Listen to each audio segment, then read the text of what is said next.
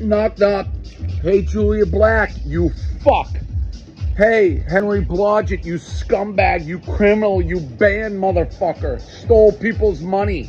Yeah, I'm talking to you two cocks. I'm coming for you. Last time I talked to you, I was in Mexico.